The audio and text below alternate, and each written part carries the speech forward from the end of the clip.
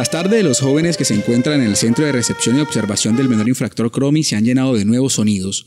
Hasta aquí llegó el acordeón, la guitarra, la caja y la batería, para transformar los días monótonos en experiencias de aprendizaje donde la música es la principal protagonista. En la Oficina de Cultura, en cabeza del señor gobernador Francisco Valle en Carita, quisimos darle la oportunidad a estos niños que aprendieran a tocar un instrumento. Muchos de ellos tienen aptitudes, muchos de ellos les gusta una caja, les gusta la guacharaca, entonces quisimos que ellos pues exploraran eso. Ellos han puesto mucho de su parte, les ha gustado, les ha gustado el proceso y de verdad que veo en ellos un, un, un empeño diferente por salir adelante.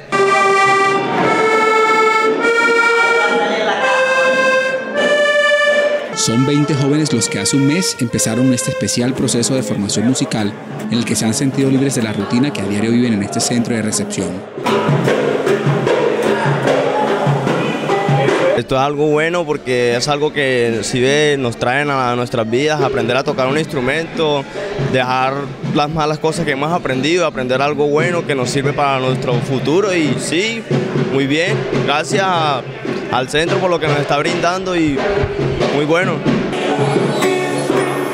Y cambio a la mayor, Muy agradecido con, con los docentes que han traído este, este evento hasta acá porque tenemos, somos jóvenes y tenemos un gran talento para desarrollar y, y, es agradable aprender mucho más cada día más.